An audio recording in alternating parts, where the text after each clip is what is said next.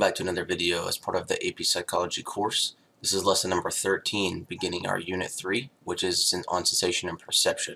And so uh, in this introductory video, I'm going to briefly highlight how exactly it is believed we are going to experience sensation and then perception.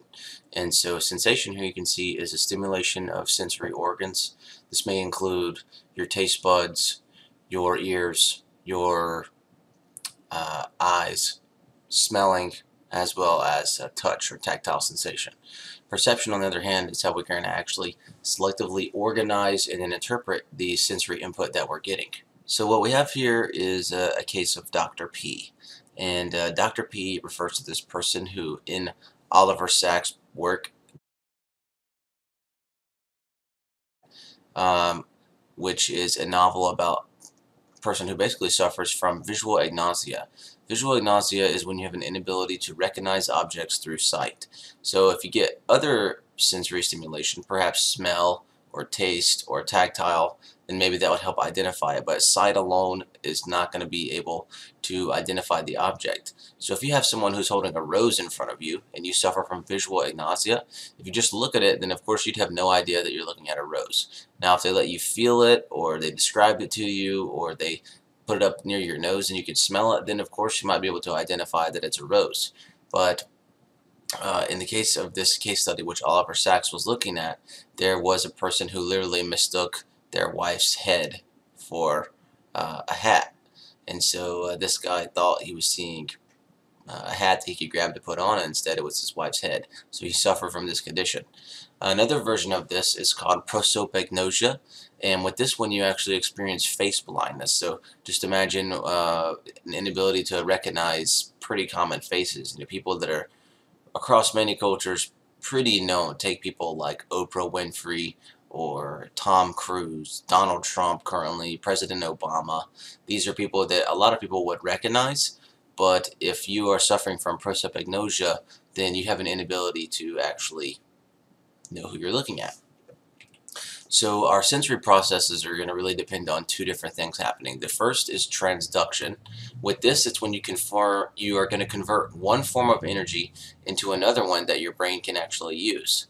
And then our brain is going to give us the process of psychophysics, where basically we look at how the physical stimuli that are going to give us a sensation are going to be translated into a psychological experience. For example, if someone is playing the drums, the drums are activating sound waves that our ears are going to detect and uh, this stimulation is going to give us sound.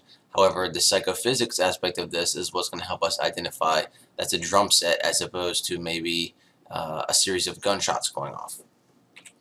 So a lot of the sensation is going to first depend on thresholds. So if you have a stimulus, uh, there could be a threshold for how potent it is, if it's a smell, how loud it could be, if it's a noise, uh, how strong of a taste it might be, how uh, intense it could be visually. So we actually have absolute thresholds, which are the minimum stimulus intensities that our sense can detect 50% of the time.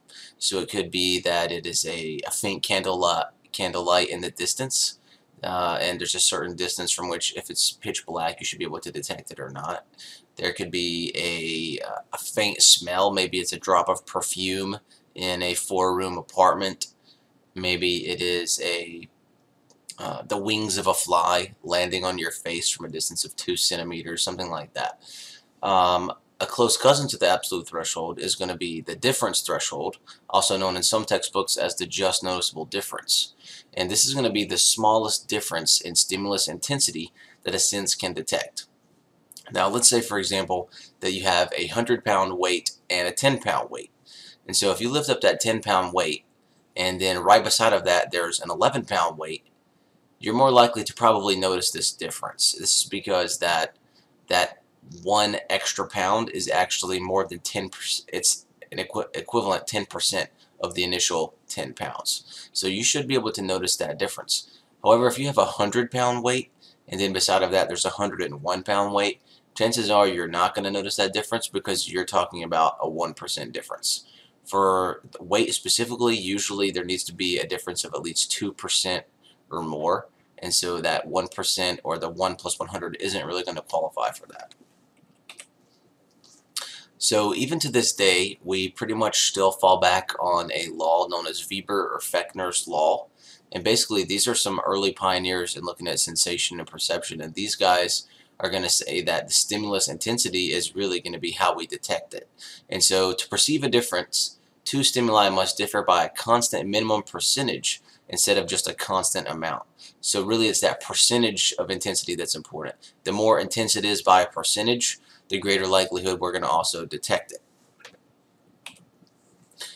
Another idea that looks at how exactly we're going to experience sensation and perception is something called the, uh, the signal detection theory. And with signal detection theory, they're ultimately going to change out this idea of threshold being important as opposed to uh, saying that the human element of detectability is actually what's going to bring it home. So detection of the stimulus involves decision processes and sensory processes. So here there's no mention of anything such as threshold. So detectability is actually going to replace the threshold. So if you have the case of someone who is operating a radar, maybe for the Navy, and they're riding around, there's four possible uh, conditions that uh, can have a response. So you can have something that's there and it goes undetected. You can have something be detected, but it's not actually you know what you were looking for. You can have something that doesn't get detected at all, and then you can have something that you were looking for. It was detected, and then it was detected properly. That's what it was. So maybe in the case of like looking for uh, underground or underwater missiles, and you know you find something on a radar, they think it could be a missile, and ends up being a missile. That's a hit. If they have a false alarm, maybe they think something's a missile, but it was actually nothing. Maybe it was a a whale. Or um, they're looking for missiles. However, uh, they fail to detect a missile, and so you know then their ship gets blown up. No, that was a miss. And then you have the correct rejection, where you could be looking for a missile. Something shows up. You think um, this is similar to a missile, but it looks like a whale and then it ended up being a whale, so they were correct. So those are your possible outcomes with the signal detection theory. We also have a type of perception which is uh, called a subliminal perception. So this is going to be perception without awareness. And generally, if something is not able to be detected 50% of the time or more, then it may be registering to our subconscious or maybe registering uh, without our conscious awareness. So if it is, this is called subliminal perception. Now, this has been tested a good bit. Uh, one maybe more recent case is when uh, there's a, a series of people who are going to watch a short clip focused on a bunch of different people. And within this, there's going to be a frame inserted that shows a bunch of kittens and a romantic couple, which is considered a positive scene. So overall, at the end, the people's end result, evaluating all the clip that they saw, they had a more positive experience, saying that you know ultimately they felt like the people they were viewing were were more positive. There was more smiles, uh, those types of things.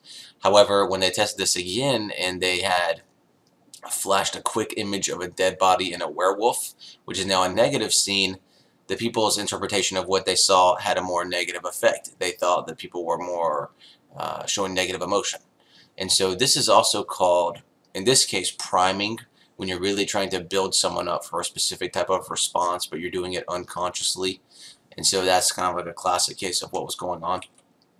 There's another case of subliminal messages here, just as some examples. A lot of the times they're paired up with things that are going to be for evaluative.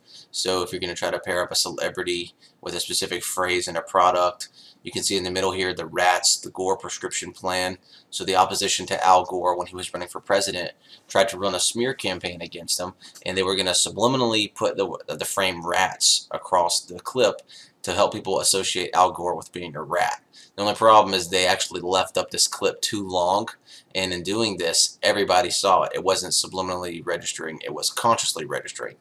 Uh, the other ones here, I'll just let you look at them and you can try to find out on your own. It's part of the fun, I guess, with subliminal messages.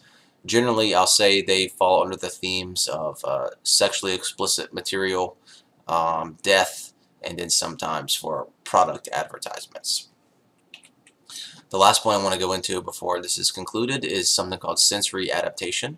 So sensory adaptation is when you experience the gradual decline in sensitivity to prolonged stimulation. So let's say you get home from school one day and somebody forgot to empty the trash and it just smells like last night's dinner but going bad. if you were to sit in that room and just expose yourself to the smell, after about 10 minutes, the intensity of that smell will have dropped by about 50%. So the smell is still the same, it's only that you've become more adapted to the smell, and so it's not as potent for you or it's not as intense for you. Another example might be if you are going to your neighborhood pool, and let's just say it just opened for the summer, and you're the first one that wants to swim and you jump in. Instantly that water feels freezing, but most people know if you stay in the water long enough, you eventually kind of get used to the water. It doesn't get warmer. It's just that your body's prolonged exposure to the water is actually causing you to experience sensory adaptation. So you're getting more used to it. So ultimately what this is going to do is allow your body to stay in tune with the changes that might occur rather than the, uh, the constants of their sensory input. And so your eyes are the only part of your body that will not experience sensory adaptation this is because your eyes react to so much stimuli. They're actually constantly moving tiny little movements left and right. And so everything else, most likely you could probably come up with an example that will apply. I would challenge you to do that. But uh, that's going to pretty much conclude this lesson on uh, basic sensation and perception. Hopefully you'll join me next time as we begin to look at some uh, components of the eye and perceptual processes. We'll look into the ear and other forms of sensation.